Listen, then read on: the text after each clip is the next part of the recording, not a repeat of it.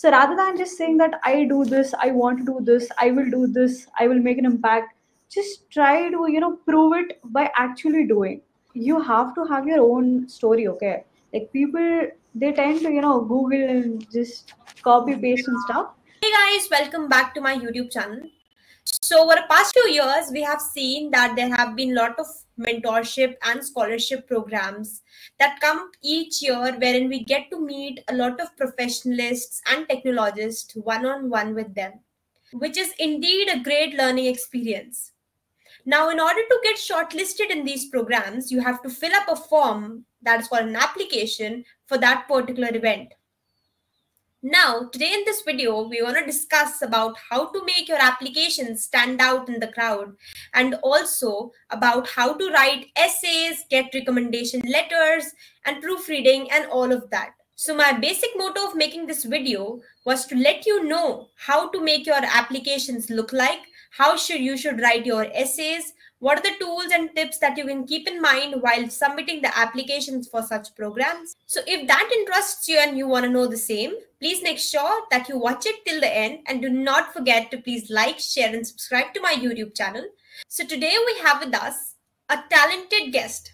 She has been selected as the GHC, that is commonly known as Grace Hopper's Celebration Scholar, twice. Also, not just that, she has been also the VIS, that is Women in Cybersecurity Scholar, and also is a technical writer at Geek for Geeks. So I'm happy to call upon Vani Gupta. Hey Vani, thank you so much for accepting Hello. the Hi guys. Yeah.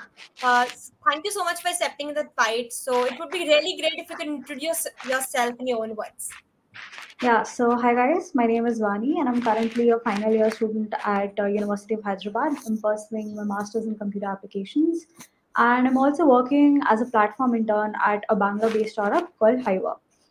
So yeah, I've been into a lot of uh, fellowships, scholarships, competitions, and I think I'm qualified enough for this. Thank you so much, Vani. Uh, I think uh, without wasting any time, we should start with the question that I have got for you so that uh, we can have a crisp and clear idea about how to fill up these applications. The first question that I have for you is what do you think? Uh, how are we evaluated for these mentorships and the scholarship programs that we have? Okay, so the thing is, I've also like rather than uh, receiving the scholarships, I've also mentored and uh, like selected the like, resumes and uh, essays and like uh, for scholarships.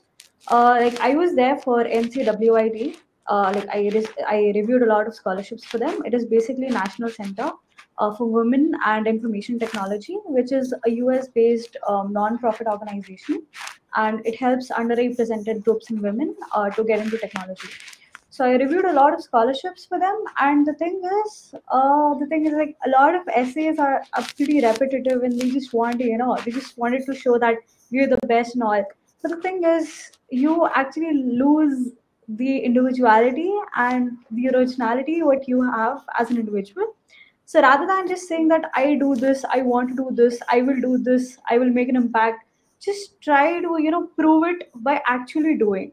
So the thing is like rather than just saying i will be a part of this club i will ha- uh, like uh, like win this competition or something actually win this and then uh, you know apply for the scholarship so one thing is this, and another was like I was a judge for an uh, for a hackathon, uh, Hack MIT, which is an annual hackathon held at Massachusetts Institute of Technology. So for there as well, I had one point like people make it a lot more technical and a lot more complex.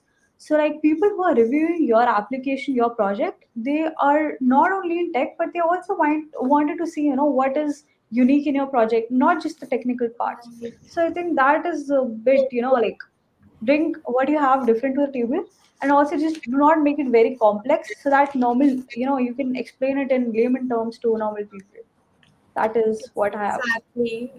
Yeah, yeah. I think being authentic and telling yeah. what you have already done instead of telling what you want to do and you know making up some stories behind that i think yeah. telling what to do is important but then what you have done before is either more important to tell your authenticity over here, right? Yeah, exactly. That, that proves a lot.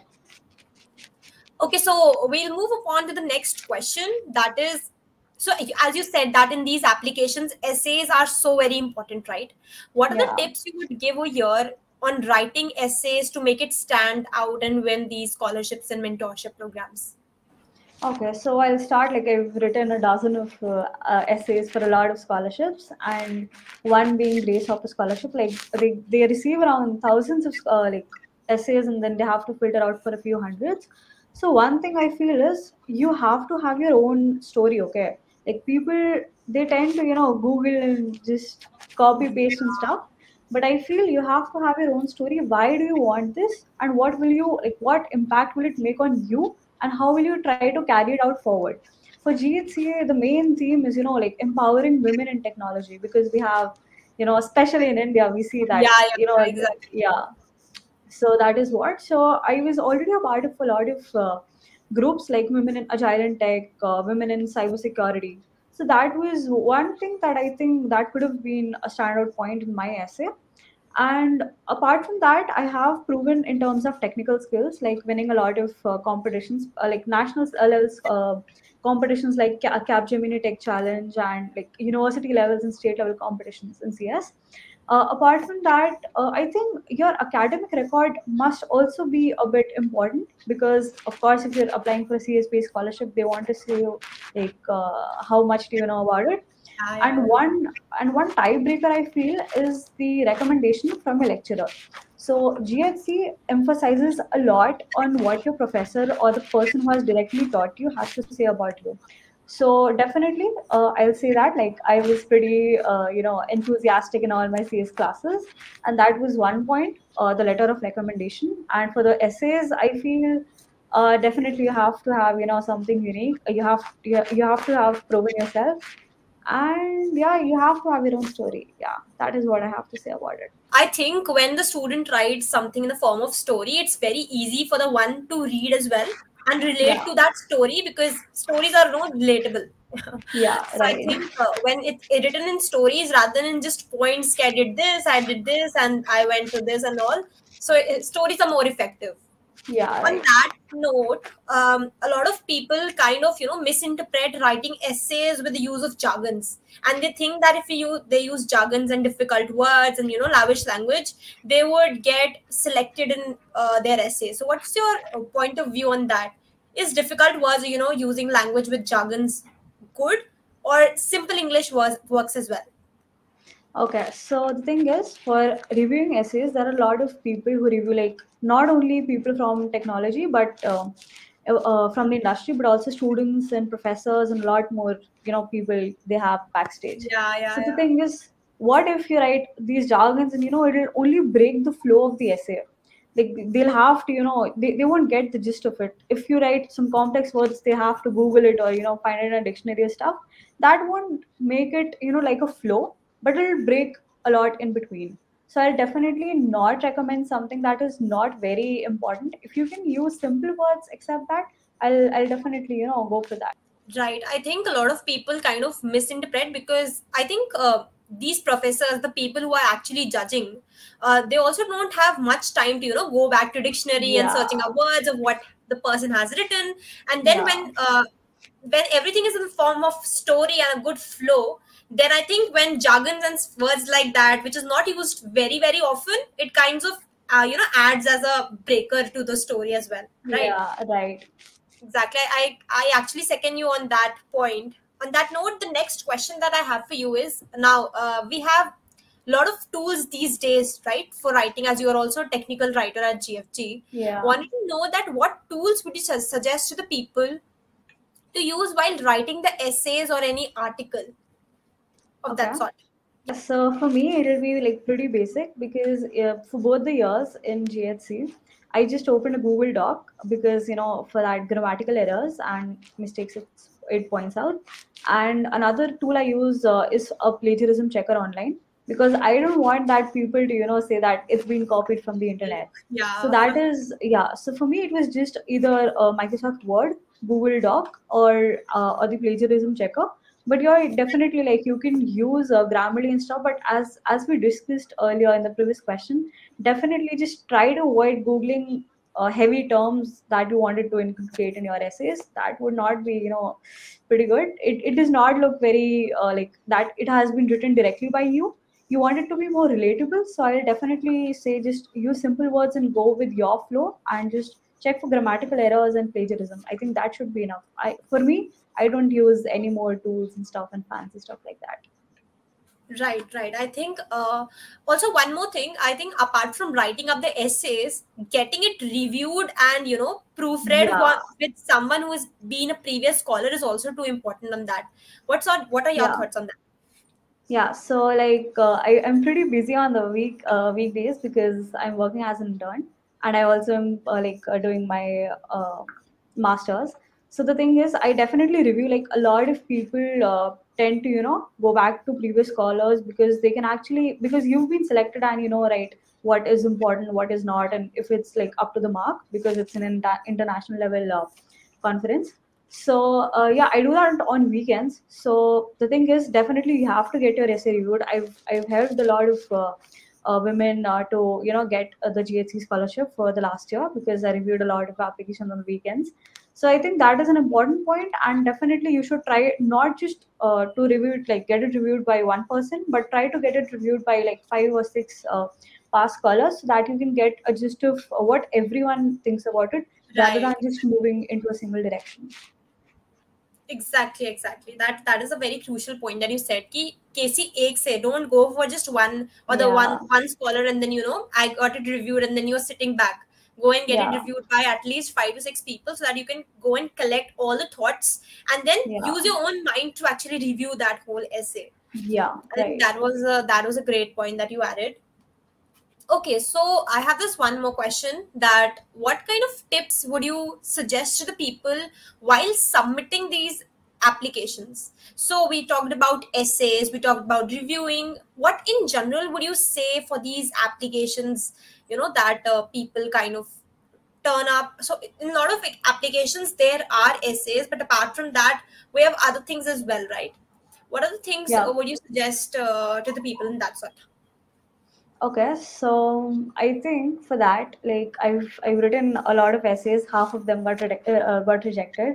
Like let's say for let's take an example for mlh uh, fellowship okay. So i filled a form for that. I, my essays got selected but i got out in the interview process. So the thing is initially you have to show that you're technical of course that you are a deserving candidate.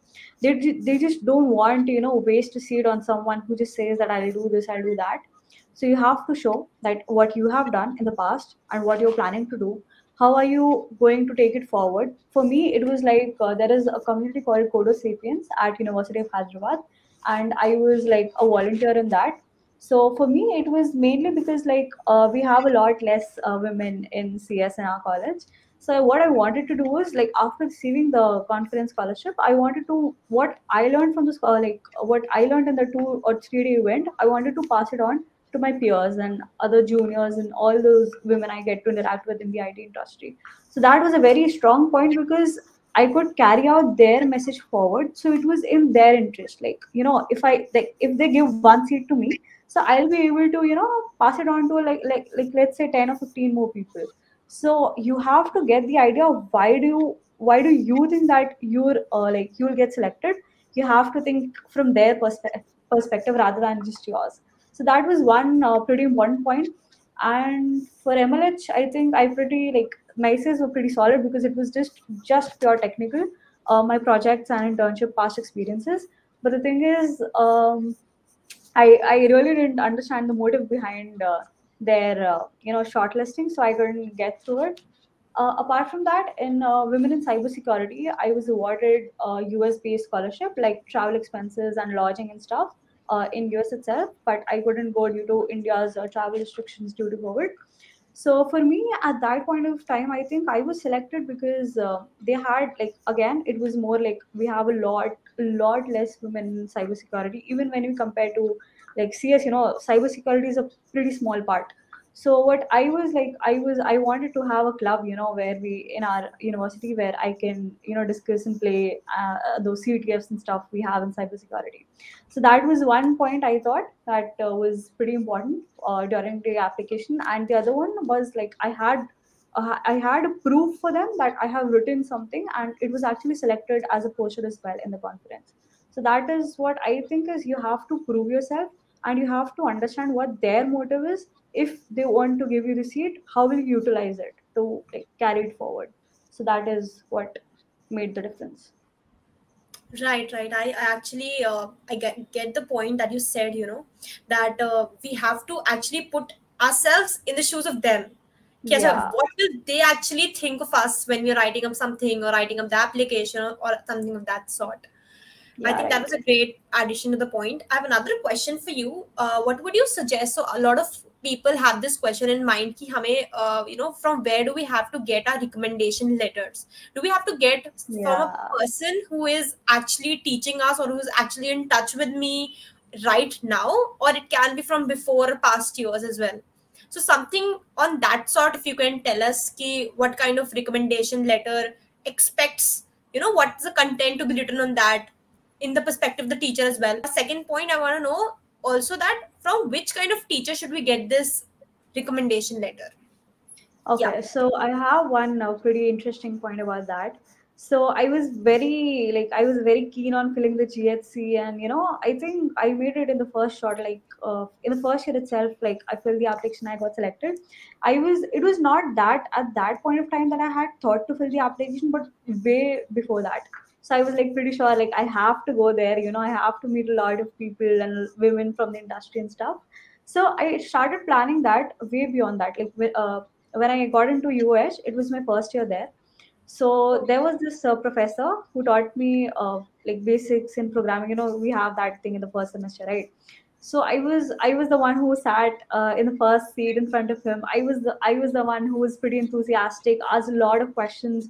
Uh, I also volunteered for a side project. Like we we didn't have to do that uh, that semester for some credits or stuff, but it was completely voluntary I did that. I completed the project, and that is, you know, that is where I think he thinks he started thinking that I was that one person uh, that who could do, you know, something in the university, and like, uh, so that was that was my main motive, you know, uh, to get him think uh, like that for me, and that would definitely uh, be seen in the letter of recommendation. So the thing is, uh, the students are not allowed to see the letter of recommendation a direct Right. link is sent to the professor and then he is the one who's completely responsible for that so i left it completely in, in his hands and i was pretty sure that uh, it is going to be very solid because i already had a pretty good and a very bold impression of me on him so that is what you can follow like if there is you want to fill an application just not you know just start just few days back but go a little like start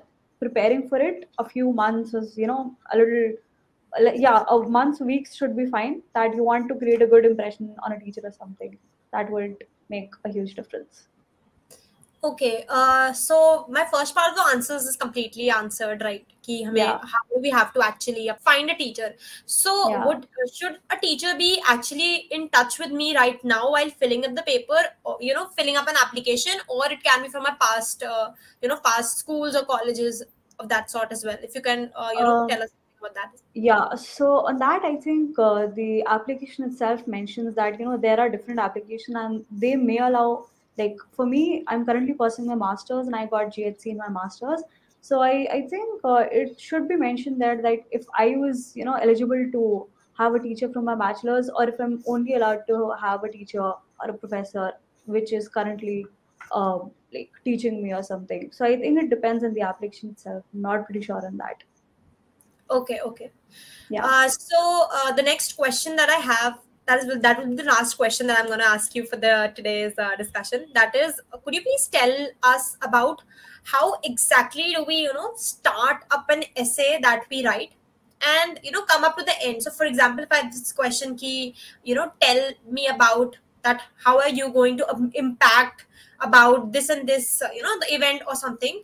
Uh, in your own community or something like that so if if that was a question or any question of that matter how would you how do you actually start up writing and then come into the middle of the essay and then conclude an essay so if there there is something like that if you can tell us that first thing that you told was a kind of a story Okay, you have to write it yeah in the form of a story which actually links all the three paragraphs and then you conclude at the last Yeah. But if you So- tell me how to actually start, yeah. Yeah. So for me, like initially, mine was like a pipeline, you know, a data flow pipeline. Initially, I started with how, like, where I was born and just explaining a bit about myself, so the person can relate to who I am as a person. Now, uh, you can start with like, where were you born? What were your education, educational qualifications, and why? Like, just start building up the story a bit, and then start with the bold points. And you definitely do not want to end it with a pretty you know boring something. So you just you have to start a little small and then build up something at the end and then some solid punchline at the end. So that is for me. For me like i i broke the essay into two parts. I started um like s- a slight description about me and my background and my family and stuff. After that my education like the second part was my bachelor's. I went into my bachelor's explained all the achievements i had what i had done for the community and people and then i started writing for my masters and like the current scenario where i am. So the person could actually you know make a flow out of my whole life uh, so they could you know relate a lot more. So that was what and then i just simply punched it with like what impact will i make if i be the scholar? So there is where you know they think like okay if we give this person the scholarship we definitely have something profitable in case of that although it's a non-profit organization but the profit will be spreading the word about it and helping other women in technology so that is what like build the story from small ground up and then just go till the end and do like till the present scenario where you are Exactly. I think that was a very great point that you added. Ki start from the beginning, make a plot out of it, and then yeah you know keep on telling what were your struggles, what were what did what did happen in between, and then how did you Yeah. overcome that, and then move ahead, and then gi- give a punchline in the end so that it is you know very very relatable to the end. This happened. Yeah. Okay, this is very nice. This is very Right. apt, and somehow the reader also gets into the you know flow of whatever we are kind of writing. I think Yeah, that was a great that was a great addition. Thank you so much, Vani. Thank you so much. I think you answered all of the doubts that commonly people have because they are kind of struggling. They go to a lot of people, ki sahi hai, this is right or not, this is right or not. But then if they get a crux of what actually they need to write and what actually they need to think while writing, that is yeah more right important. Thank you so much, Vani. Thank you uh, for coming up. I think a lot of my audience have actually got up this uh, problem solved today itself. Thank you so much for coming. thank you Mans, for having me